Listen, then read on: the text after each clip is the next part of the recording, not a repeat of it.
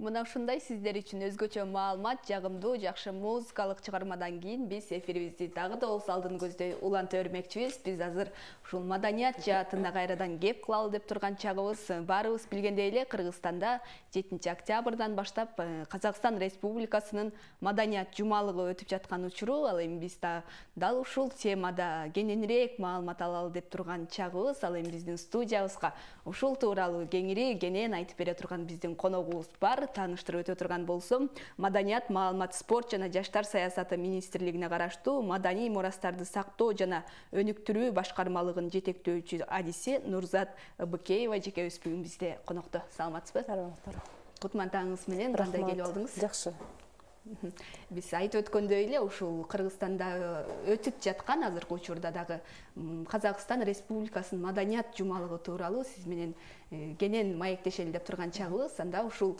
кененирээк токтолуп кандай даярдыктар менен кандай өтүп атат ошолор тууралуу айтып өтсөңүз өзүңөр белгилеп кеткендей ошо казакстан республикасынын кыргызстан республикасында маданият күндөрү жетиси күнү расмий ачылышы ушу токтогул сатылганов атындагы филармонияда садыр нуркожоевичтин биздин президентибиздин катышуусу менен өтүп башталды андан кийинки ошол иш чараларыбыз бөлүк бөлүк болуп бөлүнгөн кино жаатында музей жаатында театр опера ошентип иш чаралар жакшы деңгээлде өткөзүлдү деп ойлойм да анан мен өзім ошо музей тармагын иштетип жүргөндүгүнө байланыштуу. Ушу сегиз күнү гапаратиев атындагы биздин көркөм сүрөт музейинде қазақстан республикасының ең алдыңғы музейлері бұл абылкан касиев атындағы көркөм сүрөт көркөм искусство музейінің ең корифейлерін белгілі скульптор живопистертеринин иштери алып келинди ошондой эле дагы эле бир белгилүү алдыңкы музей бул алма ата шаарындагы мамлекет борбордук мамлекеттик музейинен алып келинген сак доорунан баштапкы экспонаттар. Ошо анан эң бул жерде бизге дүйнө жүзүнө белгилүү болгон алтын адам экспонаты келди. Бул кыргызстан үчүн абдан сыймык биз үчүн анан аябай чоң иш чара деп эсептейм да негизи барып катышса көрүш керек. Жалпы көрүүчүлөргө ушул музейде эшиктер ачык деп айтсак болот э?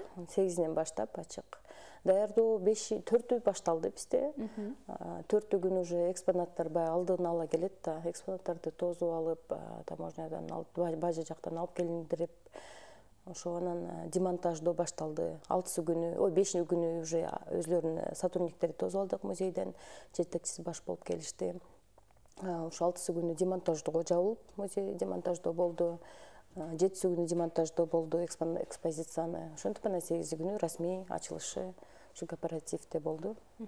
Ушул музейлерге болгон элдин кабыл алуусу кандай болуп жаткан учуру? Келген элдин саны көп эле деп айтсак болобу абдан арбын. Көп мени таң калтырышат негизи эле бирок эле кызыкчу болду кийинки кездерде особенно могу пандемиядан кийинки учурлардачы онлайнга деле катышат көрүшөт бирок бул учурда абдан баягы еще эме болуп атат да аз убакытка алып келингендик себептерденби же адамдардын ушунчалык маданиятка маданиятка суусап калгандыгынанбы чындыгында ошо арбын.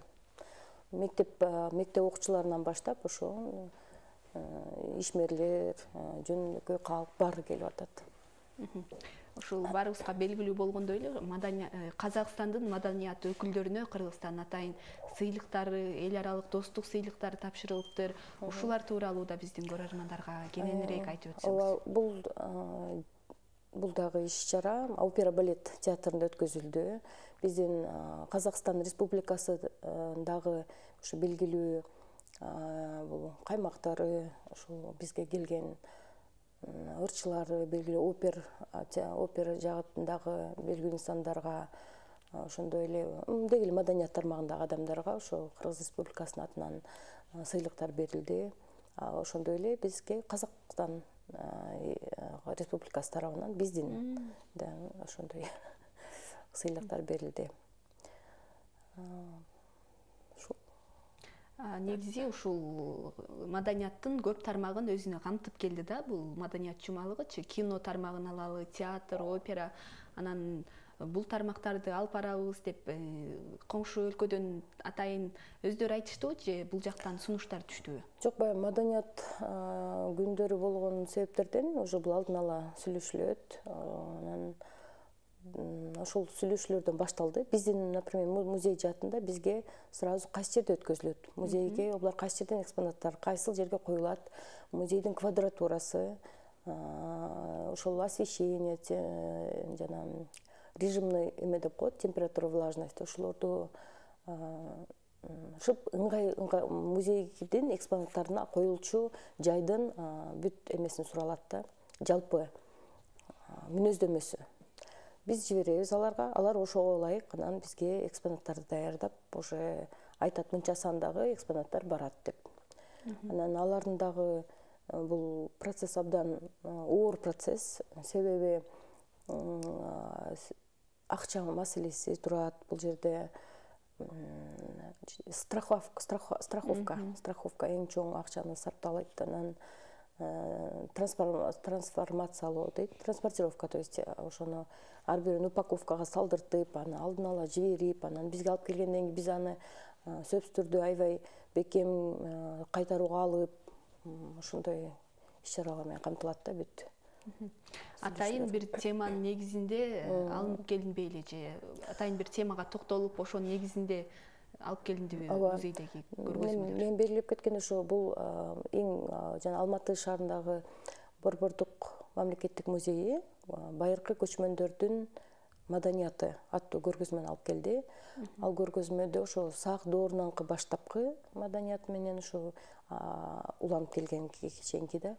Ошол сак доорунанкынан баштап анан жаңы азыркы бүгүнкү күндөгү уже живопись скульптуралар менен толуктанып кетти десем болот да мурунку анан азыркы.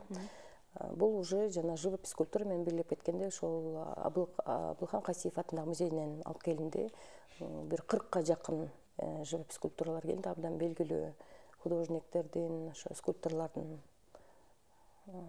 иш эмеси менен мындай иш чара буга чейин да болуп келген да же алгачкы ирет өтүп жатат жок жок жок. бул иш чара жылда бирок кайсы мамлекеттер менен келишим түзүлсө ошол мамлекеттер өткөзөт буга чейинки россия мамлекети менен өткөзүлгөн бир бир айга чукулдап калды.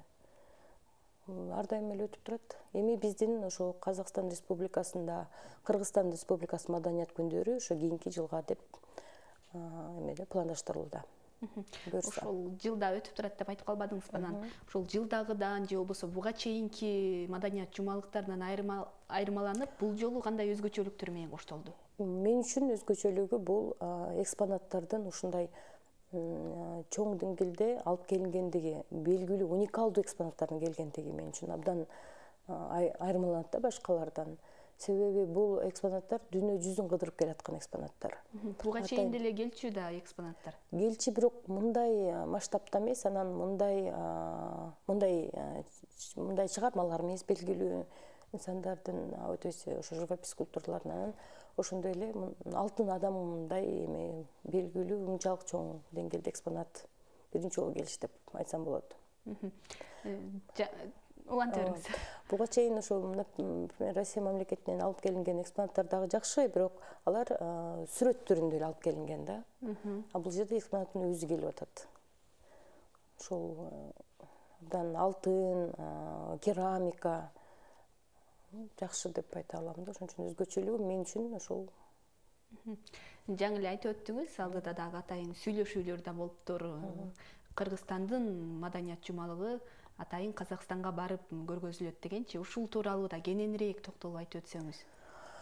Эми бул бул дагы кийинки жылга пландаштырылууда ушундай эле биздер даярдыктар башталыш керек. Бул жылдын башында планга коюлат буга дагы акча каражаты кимдерди алып барабыз кандай алып барылат кандай экспонаттар алып барылышы керек э, кандай кино тармагында кандай белгилүү фильмдерибизди алып барабыз кинолорду. Ошондой эле бизден дагы белгилүү ырчылар ушу жана сиз айтып кеткендейсиздер тиги белгилүү эмнеси менен айырмаланып атпайсыңар дагы бир өзгөчөлүгү бул. Казакстандын эң белгилүү опера жаатындагы эң белгилүү ырчылар алар келип турат да. Мисалы үчүн ошо биздин көргөзмөдө эң алдыңкысы эң ачылышында бул этно фольклордук курмангазы атындагы эл аспаптарын эмеси менен башталып анан акырында туран белгилүү бул ошо тоже жыйырмадан ашык аспаптарда ойногон ырчылар менен ой то есть эмне деп койчу эле ырчылар дедим тиги оркестр. Жок жок оркестр эмес. Оркестр ошо курмангазы анан белгилүү ошо туран эме жааматы менен аяктады десем болот да бул жана жыйырма аспапта жыйырмадан ашык даже аспапта ойношот да. Абдан сонун мындай ал да дүйнө жүзүнө белгилүү чыгармачылык ачылыш азыр эми мыкты деңгээлде өткөнүнө баарыбыз эле күбө болдук. Анан ушул кыргызстандан атайын маданият жумалыгы менен барат экен ага атайын кимдер барышына комиссия түзүлүп көзөмөлгө алып э, тандап алышат да. Сөзсүз түрдө сөзсүз түрдө ал иш чараны жогорку деңгээлде өткөзүш үчүн ошондой атайын ошол чогулуш түрүндө болот комиссия түрүндө болот. Чогулуп анан кандай иш чара план коюлуш керек сөзсүз түрдө. Пландын ичинде бүт бекитилет ошол кайсы күнү ачылыштан баштап ачылышына кандай кандай ошо ачылышында кандай иш чара менен баштайбыз? Жабылышында кандай иш чара бүткөзүлөт? Ошо биз эле биз дагы ошо көргөзмө жагын ойлонушубуз керек. Ушунчалык казакстандын казакстан республикасы казакстандын эли бизге ушундай жакшы экспозицияны алып келип аткандан кийин биз дагы алардан артта калбашыбыз керек дейм да. Кыргызстан буга чейин да ушундай маданият жумалыгы менен чет жактарга барчу барчу барчу барып келишет. Ошо эме бул акыркысы качан? Өзбекстанга барып келишти жакынкы арада э, жай ачык барып турушат ооба барат бизге келет. Э, маегибиздин башында айткандай эле э, жумалык азыркыга чейин уланып жаткан учуру деп айтып калдык. Ошол тууралуу биздин балким э, алдыда дагы барып калам барып күбө болом деген биздин көрөрмандарыбыз болсо дагы кененирээк бир маалымат берип чакыруу жасап койсоңуз. Макул ошол азыркы учурда кооператив атындагы кыргыз улуттук көркөм музейинде көркөм сүрөт музейинде алматы казакстан республикасынын белгилүү алдыңкы музейлеринен келип аткан көргөзмөгө ошо келип катышса деп чакырып кетет элем себеби бул келген экспонаттардын экспозициянын өзү бул абдан чоң деңгээлде өтүп жатат. Анан бул ар бир адам үчүн чоң мүмкүнчүлүк. Себеби айтып атпаймынбы алтын адам эми бул бүт дүйнө жүзүн кыдырып келаткан экспонат да анан ушуну көрүп алыш үчүн казакстанга барып отуруп албай ушу мына ушул жерге бизге өзү келип атат да. Алтын адам өзү келип отурат э? алтын адам өзү келип отурат. Бул бул үчүн чоң сыймык. Биз сөзсүз түрдө барып көрүшүңүздөр керек. Он үчү күнү менен ошол аяктайт. Он төртүнчү он төртү күнү уже он төртүнчү октябрь күнү демонтаждоо башталып бул уже чыгып кетет да. Ошол себептерден онунчу октябрга чейин ошо кыргыз элине кайрылып кетет элем келип өзүңөрдүн мүмкүнчүлүктөрүңөрдү жоготпой сөзсүз түрдө келип катышып көрүп кетиңиздер он үчүндө жыйынтыкталат деп айтып калдыңыз анан ушул жыйынтыктоо аземида өзгөчө бир иш чара менен коштолобу же? Жок. Бизде ошо жетиси ачылышы болбоду. Сегизи күнү жабылышын өткөзүп коюлду да. Анан калган маданий иш чаралар өзү эле жүрүп жүрө берет. Мисалы үчүн кино жаатында дагы тогузунда деп белгилеп өткөн ошондой эле да бул он үчү күнү өзүбүз эле узатып коесуздар э рахмат ушундай таң эрте келип бизге жакшы маалыматтарыңыз менен бөлүшүп жалпы элге өзүңүздүн маалыматтарыңызды тартуулап өткөнүңүз үчүн терең ыраазычылык билдиребиз сиздерге да рахмат ал эми сизге эркин микрофон сунуп коелубу мейли ушу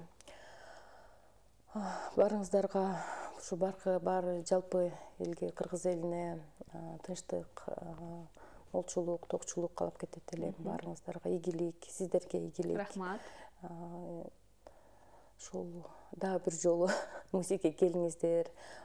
Жалгыз эле кооператив музейин эмес кыргызстанда болгон музейлерге барып туруңуздар.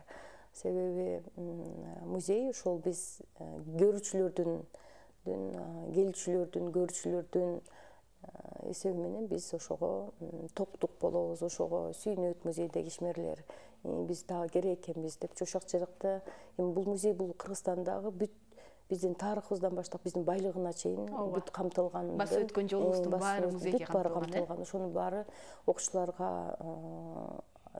жаш муунга эме өзгөчө келишин каалайт элем рахмат дагы бир ирет терең ыраазычылык билдиребиз ал эми биз ушундай жакшы маанай менен көрсөтүүбүздү алдын көздөй уланта бермекчибиз ал эми биздин студиябызга келип ушундай жакшы маалыматтар менен маданият майданындагы өзгөчө маалыматтар менен бөлүшүп отурган коногубузду дагы бир ирет тааныштырып өтө турган болсом маданият маалымат спорт жана жаштар саясаты министрлигине караштуу маданият маданий мурастарды сактоо жана өнүктүрүү башкармалыгынын жетектөөчү адиси нурзат ыбыкеева бүгүн бизде конокто болду. Ал эми биз э, бир нече мүнөттөн кийин кайрадан студиядан кез келебиз